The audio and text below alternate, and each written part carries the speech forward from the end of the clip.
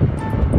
¿Qué tal amigos de Vórtice TV y de Pasión por los Negocios? Les saluda su amigo Demián Duarte. Hoy estamos, bueno, frente a lo que es el monumento a la ganadería, aquí en las instalaciones de la Unión Ganadera Regional de Sonora. ¿Por qué? Bueno, porque precisamente hoy sábado, eh, bueno, pues se dio el cambio de la mesa directiva en lo que es esta institución que tiene 80 años, bueno, eh, funcionando en nuestro estado, precisamente a favor del desarrollo de la ganadería.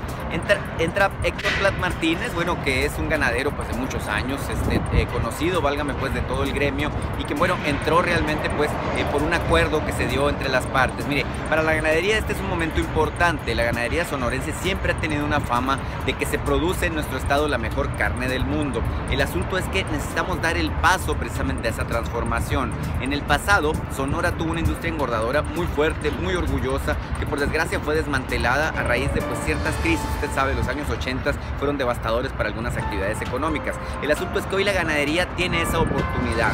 Actualmente eh, somos una potencia en términos de lo que es la exportación de ganado en pie. Sin embargo, eh, nos falta una parte que me parece fundamental, que es el asunto de la industria engordadora. Hoy en su discurso Héctor Platt habló precisamente de la necesidad de impulsar una fuerte industria engordadora, darle eh, precisamente ese factor de consolidación a nuestra ganadería, que mire, la verdad es que los números hablan por sí mismos. Actualmente exportamos alrededor de 300 mil cabezas de ganado a los Estados Unidos, ganado vivo que después los estadounidenses engordan y bueno, la tragedia es que después nos vuelven a vender ya engordada y procesada eh, para, de, vuelta para acá. El asunto es que nosotros tenemos el potencial y tenemos la capacidad de exportar esa carne a los mercados, válgame pues de Estados Unidos, pero también de Japón, de Corea, de China, entre algunos otros mercados y por supuesto tener una fuerte eh, ventana de consumo interno. Así que creo que hay retos importantes para el sector ganadero, sin embargo creo que también hay la posibilidad de hacer las cosas. Mire, hoy la gobernadora Claudia Pavlovich les planteó a los ganaderos también la idea de establecer una alianza. Les dijo,